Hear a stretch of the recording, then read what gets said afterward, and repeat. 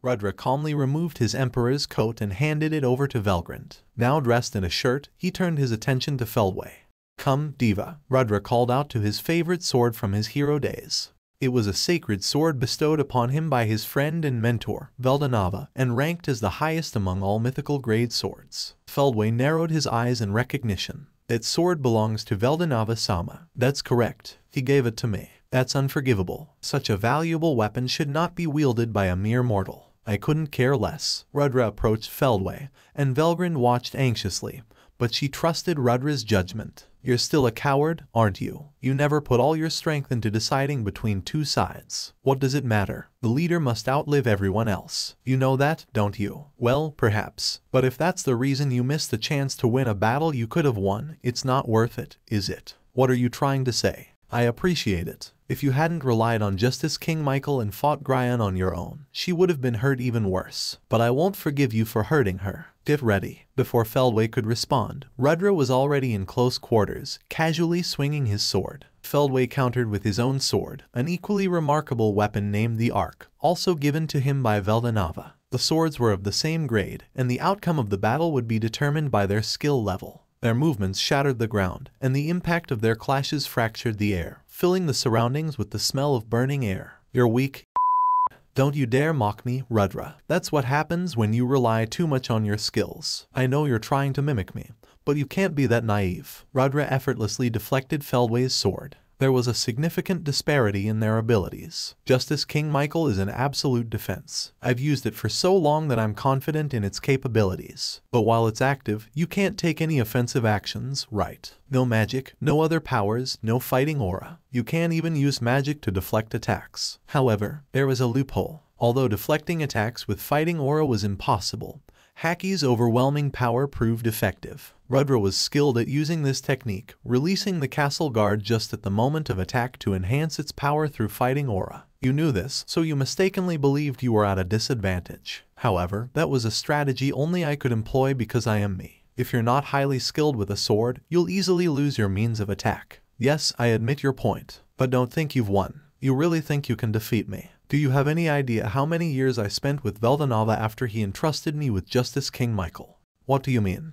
Do you honestly believe I didn't find a way to attack it? Are you foolish enough to think there's a way to defeat the most potent of all angelic, no, ultimate skills? You can't bluff your way past me. I'll tell you something. The power I received was Covenant King Uriel. Do you know its characteristics? It's merely a power for management purposes. Veldanava Sama used Covenant King Uriel to understand how to create his many powers. There's more to it than that. As you might know, the Covenant King Uriel possessed the ability to hear the voices of people connected to Veldanava. These voices could express hope, prayers for salvation, or various other desires, and this power remained potent when I wielded it. So, what are you trying to say? Do you see the similarity with the Justice King Michael you currently have? In other words, both the Covenant King Uriel and the Justice King Michael shared the trait of listening to the voices of those connected to them. By the way, the Covenant King Uriel also possessed an absolute defense, which was an application of the infinite prison and could be broken at a critical moment.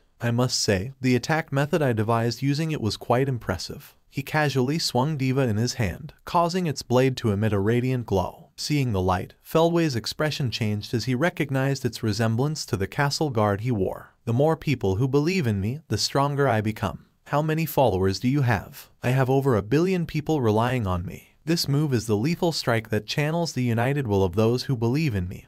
Absolute severance. Stop fooling around. How can you wield the power of the Covenant King Uriel? It's still missing. You're not paying enough attention. Besides, that Grand Guy was also using Hope King Sariel. Masayuki's King of Heroes could even replicate lost skills. Rudra smiled confidently, as if it didn't matter what he revealed. You really don't like these tactics, do you? Velgrynd was exasperated, yet enamored with Rudra's audacity. Only Rudra's sister Lucia had ever cautioned him in the past, and this scene was being recreated now. If that's the case, then you. That's right. While I can use the Justice King Michael right now, it's the Covenant King Uriel with the most powerful attack that will finish you here. Feldway remained alert, mobilizing not only the castle guard but also all his barriers in a defensive stance. And then, I've been waiting. Let's see how long you can hold out. Star King Dragon Flash, Nova Break. The clash was instantaneous, causing a devastating wave of destruction. The material area meant nothing and even Velgrynd struggled to contain the shockwave, ultimately failing.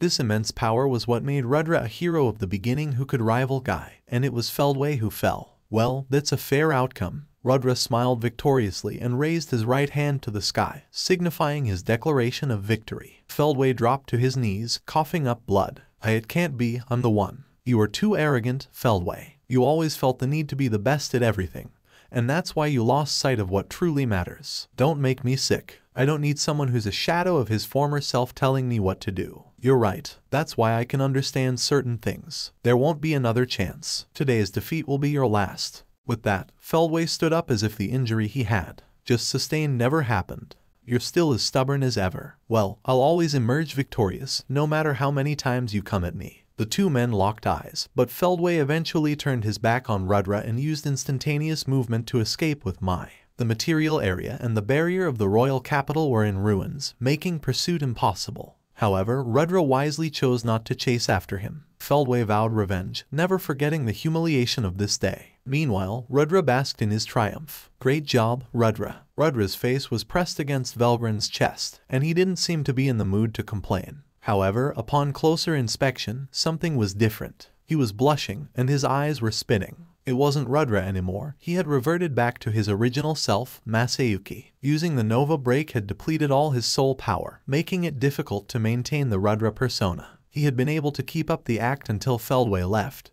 but it was mostly due to sheer willpower. Hinata approached Masayuki, who was released from Velgrynd's hold. It's nice to meet you, First Sama. My name is Hinata Sakaguchi. Before you leave, I wanted to say a few words. But before Hinata could finish her greeting, the noise of the crowd started to be heard. They were excited by Rudra's impressive display of power, believing that Masayuki had taken the battle seriously. It was a misunderstanding. But to those unaware of the situation, it appeared true. Seeing the battle had ended, people rushed to the scene, forming a circle around Masayuki. Minitz and others took the lead in holding back the crowd. Wow, Masayuki-san is so cool. That was my first time seeing it. He's the true beacon of light. Yeah, I didn't understand what was happening, but it looked awesome. Masayuki's inner thoughts were in turmoil. No, that wasn't me. Or was it me? Masayuki struggled with his feelings as the people showered him with praise. Thank you for your hard work. You looked great, Masayuki. Velgrynd handed him a jet black, gold-embroidered emperor's robe, and as he put it on, he tried to gather his thoughts. He felt embarrassed being the center of attention, but he sensed trouble approaching as the knights from the capital arrived. Hinata noticed that Rudra had returned to being Masayuki and softly apologized. Uh, Ryunour murdered King Ijil and framed me for it. Masayuki was taken aback. That was a big deal. The crowd continued cheering, and Masayuki stepped forward.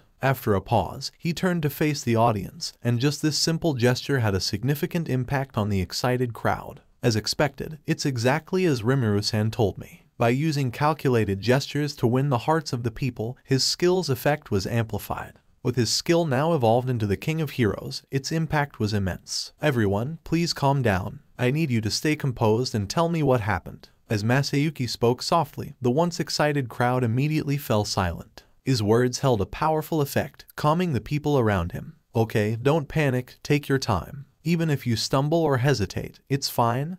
There's a way to fix it. That's it. Everyone, what is right and what is wrong? I believe you already know the answer just from witnessing this scene. Please trust in that answer, and I want to trust in you too. Masayuki didn't know the correct answer himself, but he hoped to avoid any hostility from the people. Perfect. I didn't say anything specific, so I can't be blamed if I'm wrong. As Masayuki spoke, the excited crowd suddenly calmed down. Minitz approached with a knight in tow and began to explain the situation. He was a formidable man, adorned in metal armor that covered his entire body, with a stern expression on his face. Masayuki felt fear creeping in. However, to his surprise, the knight saluted him with the utmost respect. I am honored to be in the presence of His Majesty Masayuki, the champion of Ingrassia and Emperor of the Great Eastern Empire. Overwhelmed, Masayuki merely nodded in response. Despite his feelings of trepidation, he knew he had to speak up, and he began to address the knight. Um, King Ijil. Before he could finish his sentence about King Ijil's demise and the truth behind Hinata-san's innocence, the knight interrupted him with assurance. Fear not. If His Majesty Masayuki supports Hinata Dono, then any suspicions against her can be dismissed. We, the Knights of Ingrassia, would never suspect her. So, have we managed to identify the culprit? Hinata glanced Prince Elric, who seemed lost in thought. Fuahahaha, it's all over now, I'm ruined. Masayuki couldn't understand the situation, but Elric appeared to think he had seen through everything and self-destructed. Masayuki decided to act as if he understood everything, hiding his inner turmoil. It seems Masayuki-sama has identified the culprit and resolved the problem. Prince Elric killed his father, King Egil. The mastermind behind it was Ryunour, the former commander of the Knight Order. That's why Hinata-sama. Ryunour was the one who messed up at the council meeting, right? What a disgraceful act by the former commander of the Knights of Ingrassia. So, he tried to seek revenge on Hinata-sama with the help of a monster. But it was our Masayuki-sama who saw through it and resolved Hinata-sama's predicament. As expected of our hero, even though he became the emperor of the Eastern Empire, he still remembers us. The prince's confession sealed the deal. The people were convinced without needing any explanation from Masayuki or Hinata. Hooray, Masayuki-sama. Glory to our Masayuki-sama. The cheers erupted once more, and Masayuki awkwardly raised his hand to respond. Hinata looked slightly dumbfounded, while Velgrynd seemed satisfied. Masayuki's inner self was filled with tears, thinking, whatever, I don't care anymore. But that was just how things always were. Unbeknownst to Masayuki, the next day, he would suffer terrible pains from the after effects of harboring Rudra and various other reasons, including a rare kind of growing pain called soul pain.